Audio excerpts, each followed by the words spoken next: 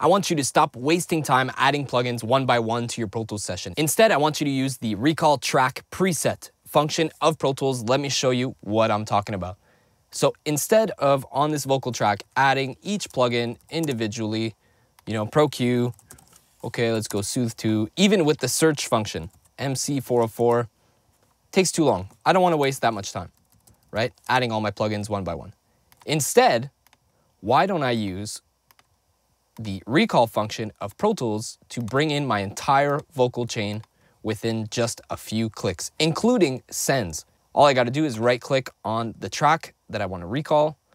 I go recall track preset and I find my preset here, Jace lead, and boom. Now all my plugins are there within just a few clicks. Let me show you how to set that up.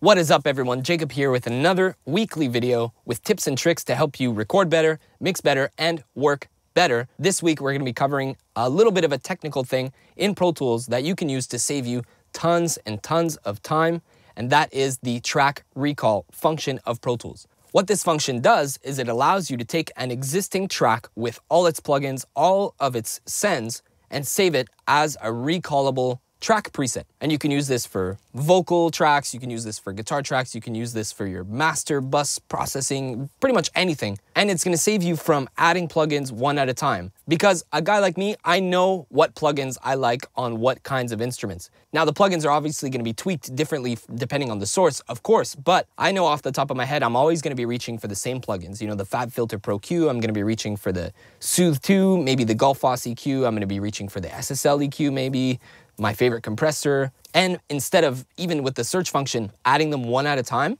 I could just use a track preset and boom, within a few clicks, I have everything ready. So I gave you the example earlier. If I wanted to add each plugin individually, you know, I could still do, do that pretty fast using the search function, but it's too long. I want to save that extra 30 seconds, two minutes, or whatever it might be, and just load it all up in one shot. And to set that up, it's super easy. All you have to do is grab a track that you know these are the plugins you like on your vocal or on your guitars or on whatever instrument. You know you like these plugins, you want to save it as a recall to save you the time. All I have to do is grab the track that's populated with all the plugins and it'll even save all the settings of the plugin so you already have a good starting point. All you have to do is go to the track that's already all populated with your plugins, right click on it, go save track preset, pick a folder that you want to save it in. You can add categories, like your own custom categories for different types of genres or whatever it is. I'm pretty simple. I just dump it all in the same folder. I name it properly. This artist name is Jace. I'm going to call this Jace Chorus Vocal.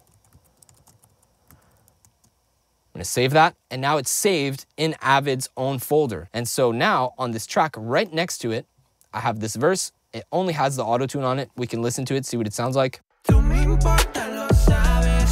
Sé muy bien lo que vales.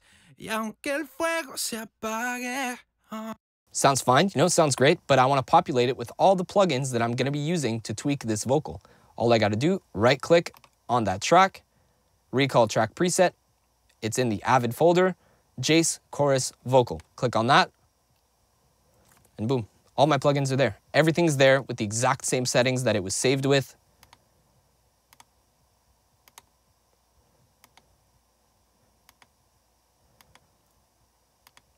Even saves all the sends. So I have some parallel vocal processing that gets saved with that as well. I have a reverb that's already saved there with its level send and everything.